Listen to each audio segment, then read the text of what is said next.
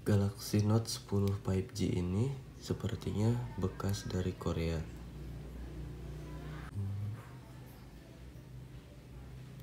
HP-nya cukup lumayan mulus, tapi ada sedikit seperti bekas congkelan di layarnya.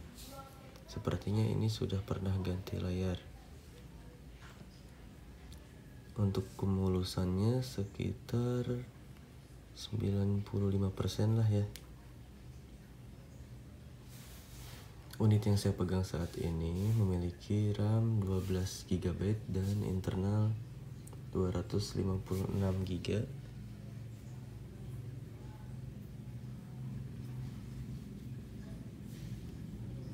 Kamera depan beresolusi 10 megapiksel, belakang beresolusi 12 megapiksel.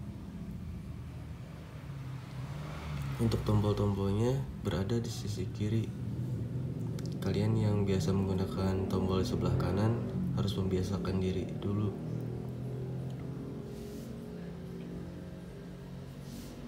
Dan unit yang ini yang saya dapatkan bermasalah dengan sinyalnya. Semua kartu sudah saya coba Axis, XL, Telkomsel, semuanya tidak ada sinyal kecuali Smart Brand. Ini saya menggunakan Smart Brand, sinyalnya muncul. Entah itu pemblokiran email atau masalah HP-nya yang bermasalah, tapi sepertinya ini karena pemblokiran email. Saya sudah uh, chat ke sellernya, tapi belum ada balasan. Katanya mau tanyain dulu ke bos. Ya udahlah, saya tunggu aja konfirmasi dari sellernya.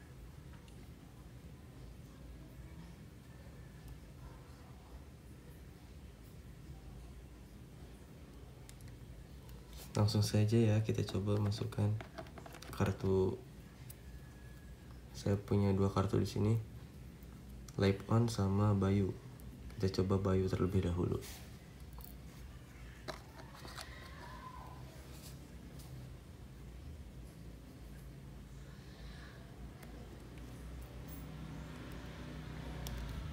Kalau smart print itu muncul sinyalnya ya tapi yang lain gak ada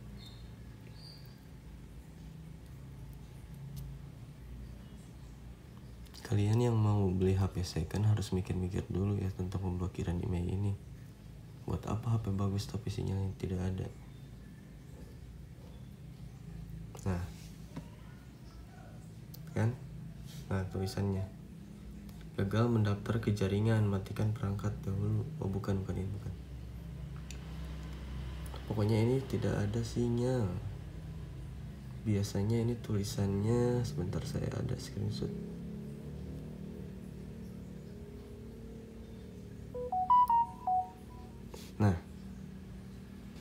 Nah ada nih ponsel tidak diizinkan untuk suara. Berarti ini kena pemblokiran email ya. Layanan terbatas. Telkomsel tidak bisa kita ganti lagi ke lip on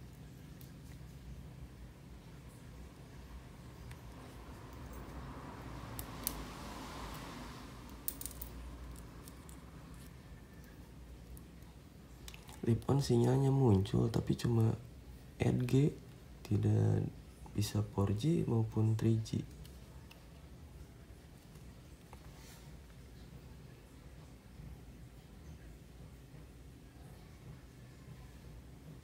Nah, muncul kan? Tapi ini jaringan 8G ini. Telepon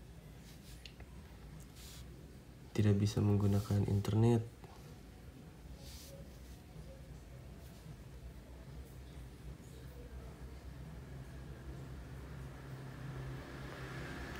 Jaringannya tidak muncul walaupun saya sudah setting APN-nya.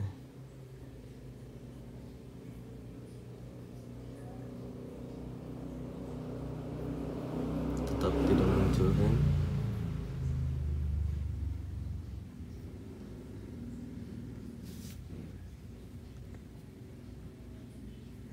Cek pulsa pun tidak ada tidak bisa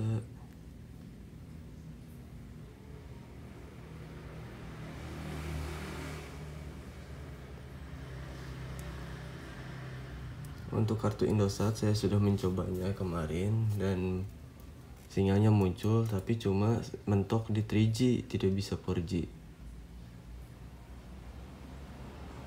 Sekali lagi untuk kalian yang mau beli HP second harus berhati-hati ya, cek dulu HP-nya. Ini saya sembarangan beli aja. Nanti nunggu penjelasan dari tokonya mau gimana ini sayang banget kan beli HP mahal-mahal tapi sinyalnya tidak ada ini kembali pakai smart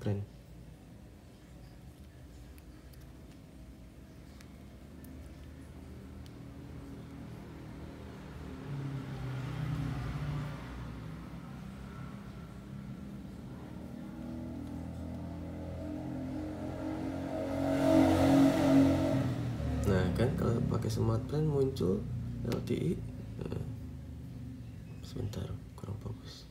Nah muncul LTE kalau pakai smart brand lancar.